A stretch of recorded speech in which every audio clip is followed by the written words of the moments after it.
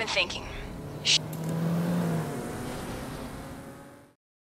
Show me what you got, Alex.